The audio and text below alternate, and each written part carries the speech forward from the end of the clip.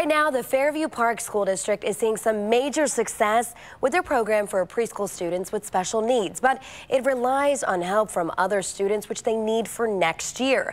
Meg Shaw is here this morning. Meg, how do the other students help out? Well, Homa, they're called peer role models, and the intervention specialist for the class tells me they make such a difference with children who have a disability.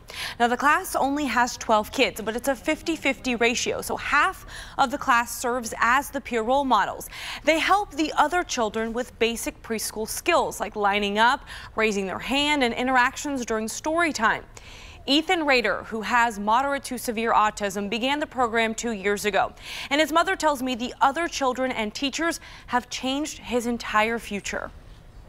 I wish that Ethan could stay here forever because I don't know what his future is going to be like, but I know that his present right now is remarkable.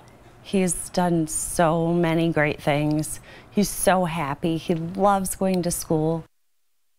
And it was really fun to watch him that day that we uh, recorded this. Right now, the Fairview Park school system is looking for peer role models for next school year. They're in need of three-year-olds. So if your child is two and a half right now, you can still apply. Applications are due by this Friday, March 15th. Homa.